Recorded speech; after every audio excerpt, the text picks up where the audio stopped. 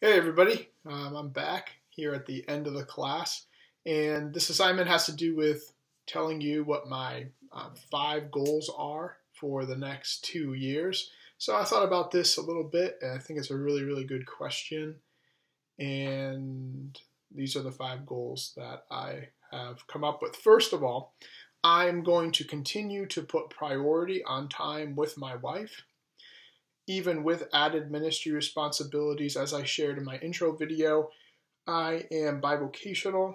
I am the lead pastor of a church plant called Wesley Chapel, and in addition to serving as lead pastor of Wesley Chapel, I am also a high school history teacher. So things get busy, and of course, added to that is seminary work, um, which is why I'm recording this video right now. So, but in, in spite of all those responsibilities, all those ministry responsibilities, academic responsibilities, my most important ministry will always be to my wife. So I'm going to continue to put priority on my time I spend with her, making sure that we have date night together, and uh, making sure that we um, I set aside time in my schedule purposefully and intentionally to spend time with her. Um, secondly, uh, as I have shared based on Thomas's book, Sacred Pathways.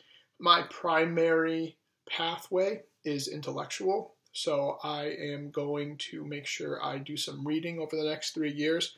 I have currently already read through um, volume one of uh, Tom Oden's um, Systematic Theology, which is The Living God. And over the next two years, I hope to read through volumes two and three. Volume two, um, The Word of Life, and Volume 3, um, Life in the Spirit. I highly recommend Tom Oden um, for those of you that are looking for a good systematic theology. Um, in my opinion, he's the best Wesleyan Arminian systematic theolo- theologian of um, modern time. He has a concise version of his systematic theology called Classic Christianity. I'll put a link to it in my post where you can buy it on Amazon. In addition to reading through that, I also want to make sure that I read through um, James Smith's um, Cultural Liturgies series. Um, recently got a gift card to Amazon and picked these up. Um, Desiring the Kingdom, Imagining the Kingdom, and Awaiting the King. Um, this book has gotten a lot of press recently, and I really need to develop a philosophical theology of culture. And um, for our time, I really think Smith is the way to go. So I want to read through um, James K.A. Smith's Cultural Liturgies Project. Also want to make sure that I stay in shape. I currently work out three times a week, and I have a pretty strict diet. Um, I try to keep around um, the same weight, and uh, I want to make sure that I continue doing that. I also want to make sure I continue to get cardio in too. I recently went to the doctor in the fall, and he told me that um, genetically, I actually have high um, cholesterol. So I'll make sure that I um, stay on the treadmill, uh, working out 20 minutes on the treadmill, and continuing to hit the weights um, so that I, I continue to um, stay in shape. Um, another goal I have over the next two years is I want to learn Greek. So um, I picked up um, a copy of uh, Bill Mounce's Basics of Biblical Greek. There's a textbook and a workbook that goes with it. and there are courses, so there is a course that goes with this too. So I want to use the course online and I want to learn Greek. I think it will really help me exegetically when I um, take apart uh, New Testament passages when I'm preaching on Sundays. And Mounce is the guy when it comes to learning Greek. Um, so I want to want to do that as well over the next two years. And in terms of, I know I mentioned in my intro video that I do a podcast called Remonstrance Podcast. One goal I've had for Remonstrance is to get interviews on Remonstrance. So it's one of those things that keeps coming to my mind and I keep putting it off.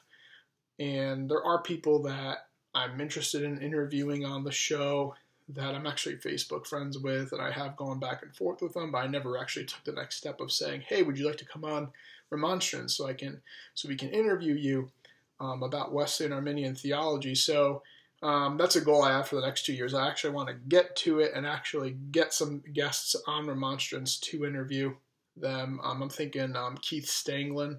I don't know if any of you have ever heard of him. He's a he's a real strong um, Arminian scholar. Um, I want to I want to interview him, and I also want to interview um, Tom Noble, um, Nazarene theologian. Recently wrote a great book that I read this fall called Holy Trinity, Holy People. Um, good stuff. I like to get Tom Noble on there too. And rumor has it that he's actually currently working on a new systematic theology for the Nazarene Church, which the first volume is um, is anticipated to come out this year. So that would be cool if I'm able to get him on Remonstrance too. So those are my five goals. Um, continue to put priority on time with my wife, even with added ministry responsibilities, church planting, um, discipling, and everything else I do. Continuing to put time with making sure I um, pay attention to my most important ministry. Reading through Oden's Systematic Theology and the Cultural Liturgies Project by Smith. Um, staying in shape. Learning Greek, using Mounce's Biblical Greek and um, getting some interviews um, on Remonstrance Podcast. It's been a pleasure um, going through this class with you, interacting with you guys online. Hopefully, we'll have some more classes together as we continue our seminary journey. Um, God bless you all.